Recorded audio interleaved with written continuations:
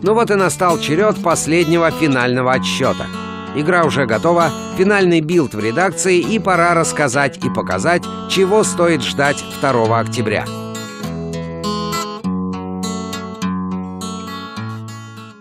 Как уже не раз говорили разработчики, «Зов Припяти» будет по духу ближе к первой игре, нежели к чистому небу. Главное для них — передать дух сталкерства, путешествия по неизведанным и опасным местам. Очень многие квесты в «Зове Припяти» нелинейны и подразумевают выбор. В прошлых выпусках мы уже приводили один небольшой пример, но в игре их намного больше. Только игроку решать, с кем дружить, с кем воевать и делить ли найденную добычу с тем, кто за ней послал.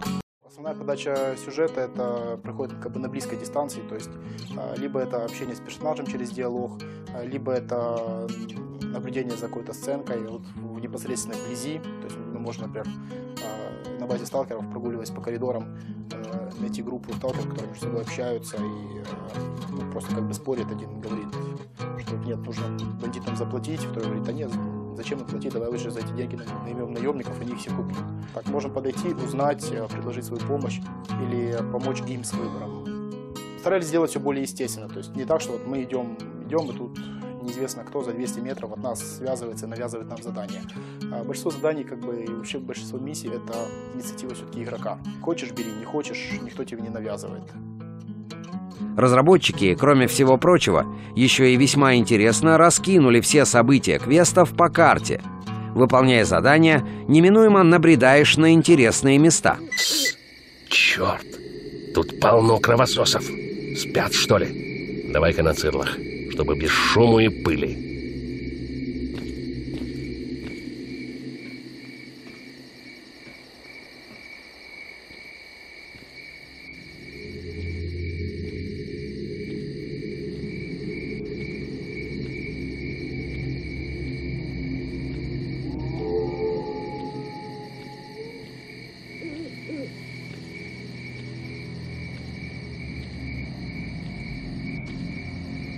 Интерфейс был серьезно переделан, во многом по желаниям игроков.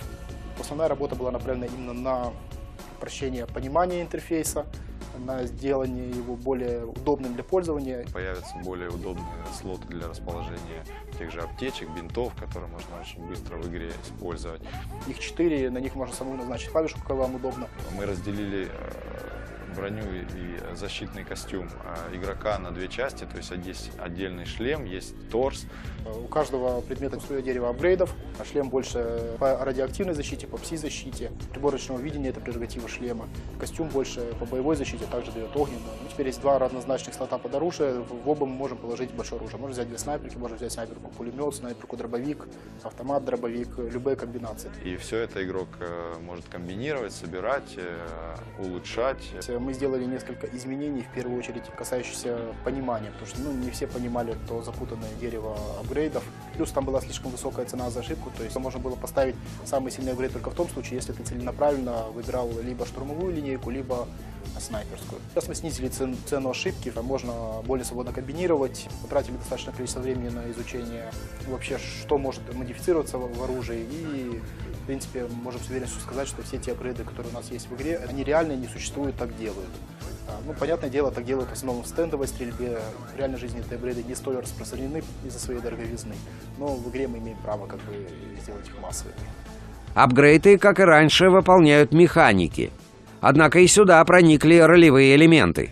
Теперь некоторых бедолаг можно спаивать и получать в результате скидку на услуги – для улучшения качества обслуживания следует приносить механикам новые инструменты и материалы. На них можно наткнуться, исследуя зону. Иногда место расположения могут подсказать случайные попутчики. В общем, авторы всячески стимулируют игроков исследовать даже самые крайние закоулки зоны. Куда удобнее стало отслеживать собственное перемещение и его Мы шумность. сделали круглую карту, считаем ее более удобной, более наглядной. Также переработали правый нижний угол, там где были информация об оружии, о патронах. Теперь информация передается там более компактно, более удобно, что ли. И вывели достаточное количество индикаторов на главный экран, чтобы все было наглядно. Если ты находишься в зоне нормального воздействия, у тебя мигает иконка. Если у тебя оружие поломано, у тебя отображается иконка. То есть э, старались сделать все, чтобы игроку было удобно играть.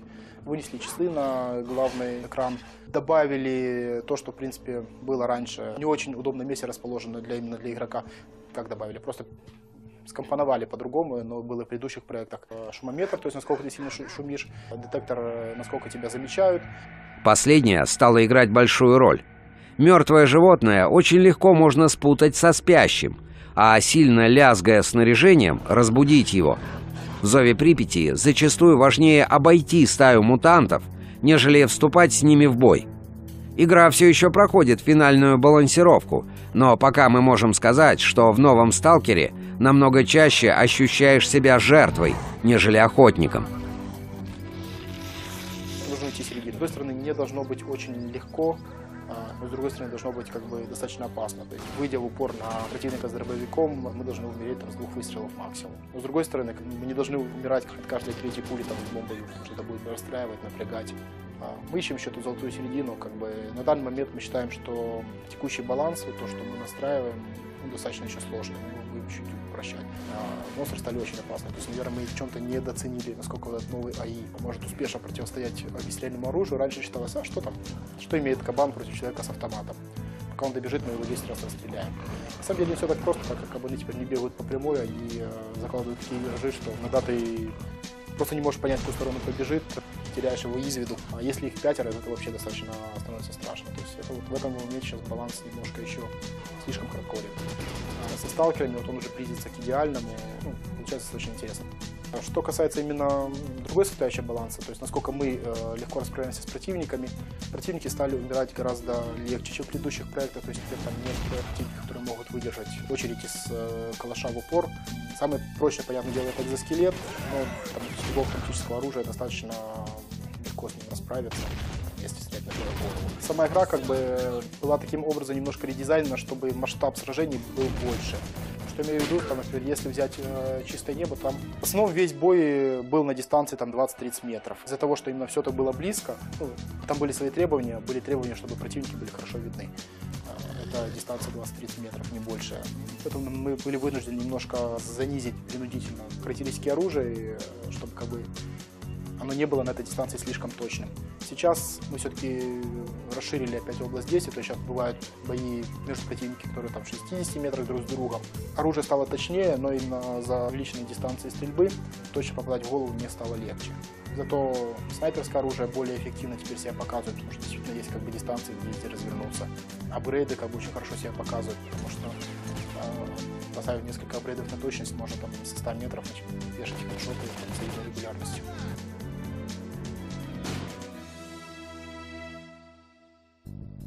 Перемещаться по большим пространствам, как и раньше, помогают проводники.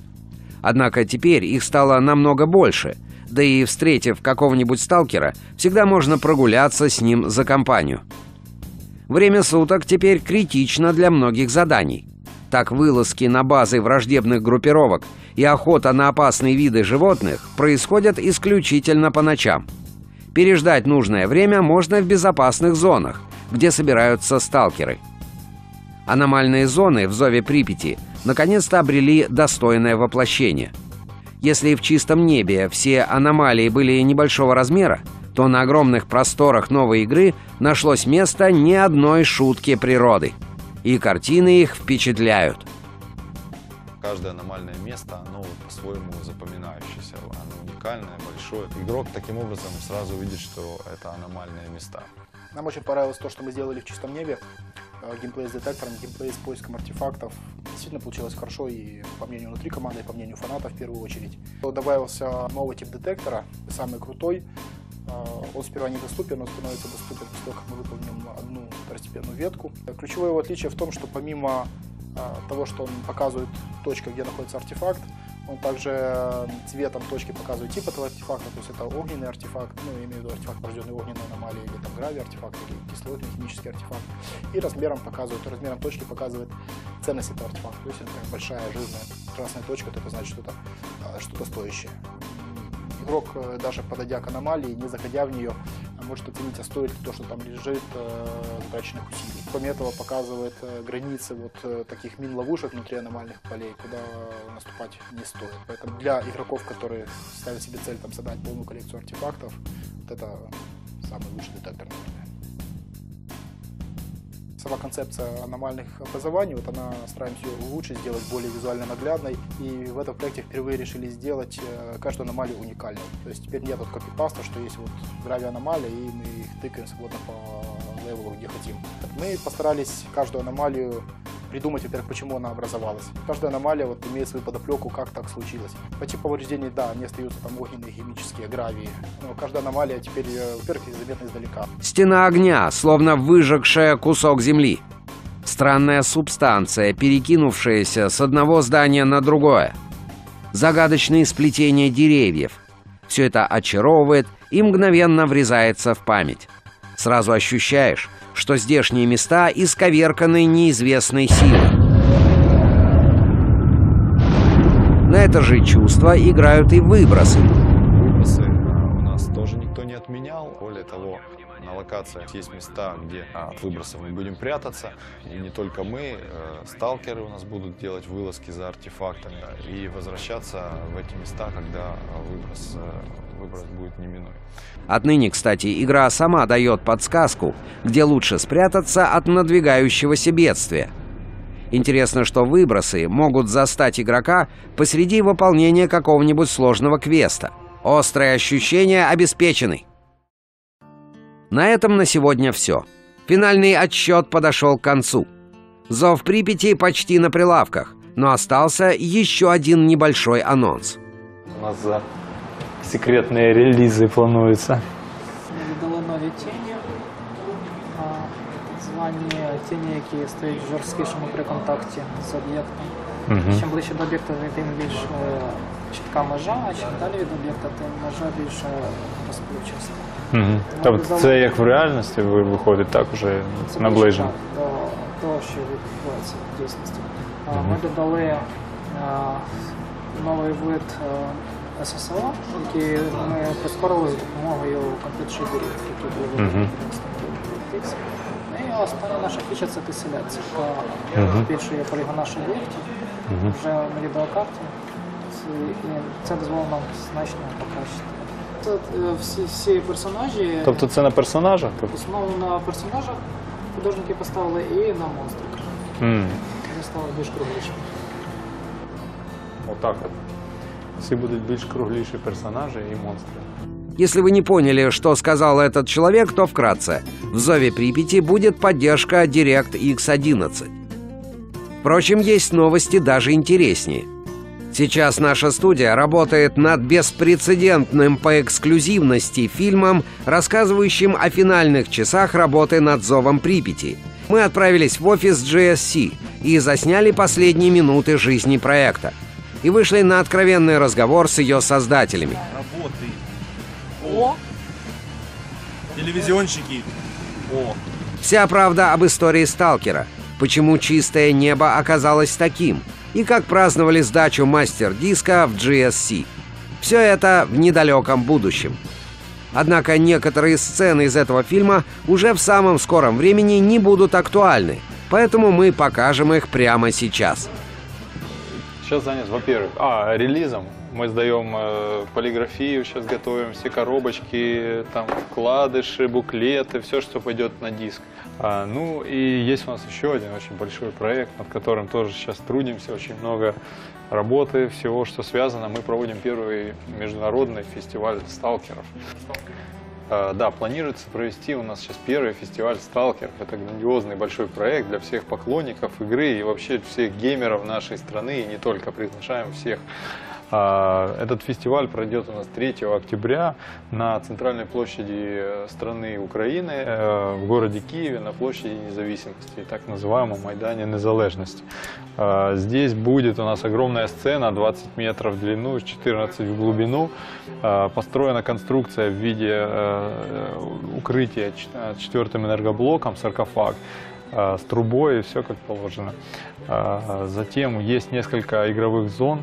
А, Одна из них э, представляет собой э, 50 компьютеров, которые будут э, установлены там, и люди могут играть, э, смогут играть в СОВ Припяти в свободном режиме. Э, Также имеется зона, игровая площадка, где будут проводиться лазерные бои.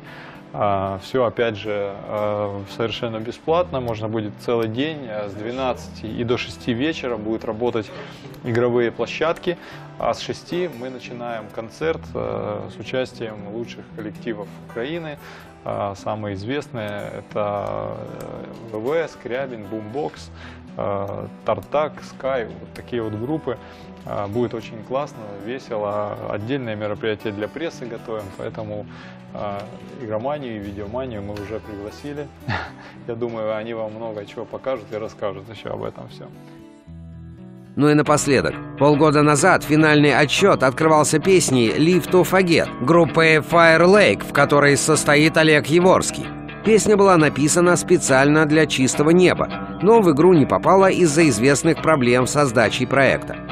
Недавно Fire Lake записали русскую версию песни, которую исполнят на главной площади страны 3 октября на фестивале, посвященном «Сталкеру». Мы не нашли лучшего способа завершить финальный отсчет, кроме как дать вам услышать ее первыми.